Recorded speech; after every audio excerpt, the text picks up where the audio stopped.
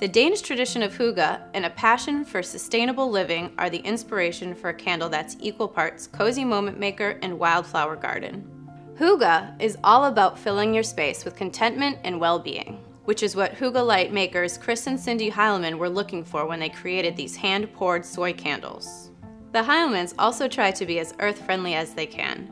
Burning candles during a dreary winter made Chris and Cindy notice how much waste they were generating by tossing out the empty containers. So when a Hyggelight is done, its handmade pot sidesteps the trash and gets a second life as a planter. The candle's label is made of wildflower seed paper. Hyggelights are now made in partnership with a nonprofit that employs folks with developmental disabilities. They're made with the mission to reduce waste, too, and generate just one bag of manufacturing trash each month, so you can feel doubly good when you light one.